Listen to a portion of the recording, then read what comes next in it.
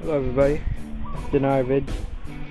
This is my new project I just finished. It's a super propane can. As you can see here, this is the main combustion chamber. It's a metered propane technique.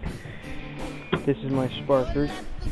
Got my trigger right here. Press that button. It's a just barbecue igniter. High pressure hose from a propane tank comes into this meter.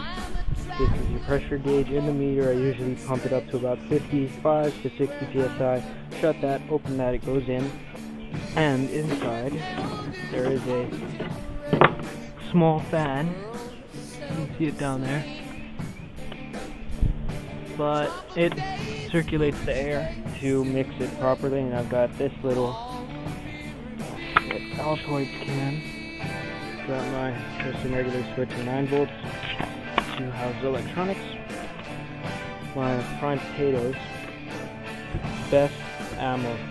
I've got a one and a half inch barrel and a two inch barrel. Screw in technique, oiled for easy access. So, I've got a box set up down there on the lawn. Let's see if we can hit it.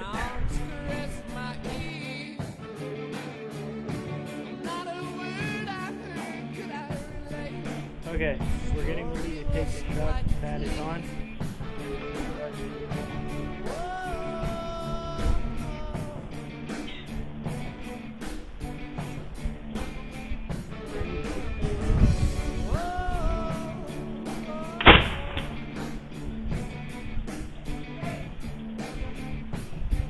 Just a little hot. We'll try again later. I'm gonna make another video when we get to beach, so stay tuned.